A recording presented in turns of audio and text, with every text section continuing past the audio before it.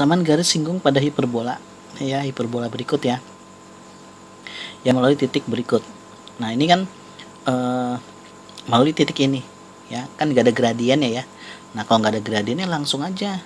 Ya biar gampang.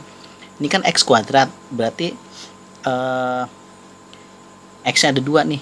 Ya kan x berarti x nya dua. Yang satu dipakai sama tiga. Yang satu x aja. Gitu. Dikurang.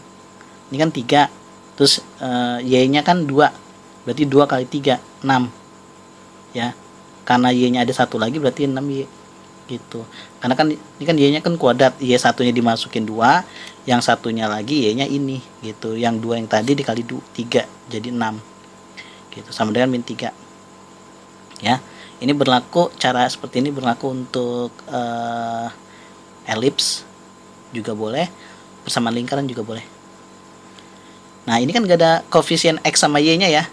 Yang ini kan x kuadrat sama y kuadrat. Nanti kita coba yang ini nih. Ini kalau yang ini ada y ya kan? Tapi nggak ada x nya nanti kita pakai ini pakai cara yang seperti ini ya. Ini kita sederhanain. Dibagi tiga ya.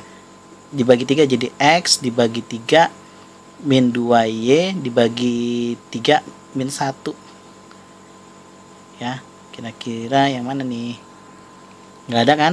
Kita balik aja ya kali min 1 jadi x nya jadi min x y nya jadi plus y. Ini x nya jadi min x y nya jadi plus 2y min 1 jadi plus 1 jadi jawabannya ini ya D jawabannya. Gitu. Ya oke